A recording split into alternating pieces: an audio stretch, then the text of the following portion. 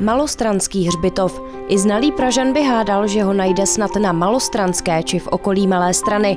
Pravda je ale taková, že leží na rozhraní čtvrtí Smíchov a Košíře, mezi dvěma rušnými ulicemi Plzeňskou a Vrchlického.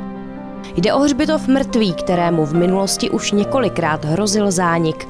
Nepohřbívá se tady od 19. století a mnoho hrobů tak už pohltil čas. A když ne čas, tak divoký břečťan, který se tady popíná téměř všude. My se ale společně s naším průvodcem Davidem Černým vydáváme na jistotu. Míříme totiž k nejnavštěvovanějšímu a zároveň nejmenšímu náhrobku ze všech. K náhrobku Aničky Degenové, který se pojí s legendou o svaté holčičce.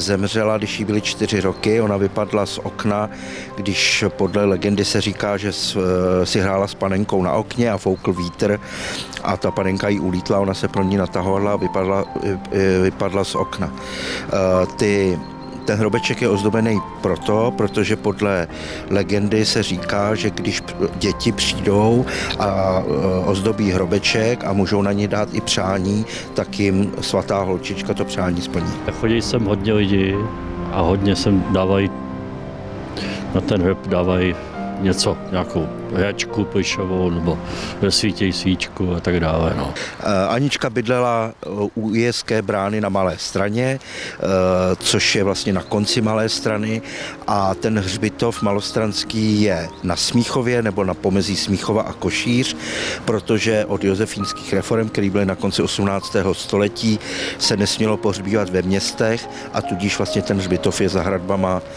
Malé strany, protože tady v v té době tady žádná zástavba nebyla ještě. Legenda o svaté holčičce vypráví o tom, že když se Anička Degenová narodila, tak dostala duši andělskou a právě její dobrota a velké srdce ji podle legendy zahubily. Lidský úděl totiž neunese andělskou duši a proto si pán Bůh Aničku povolal zpět do nebe. Ona potom i po své smrti eh, se podle legend vykládá, že dělala různé zázraky.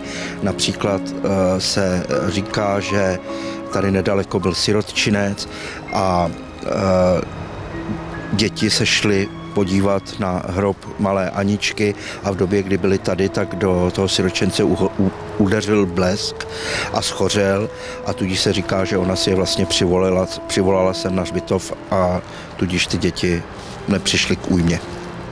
Je dochovaná nějaký její obraz, podobizna, fotografie, případně ví se, e, co, kdo byli její rodiče?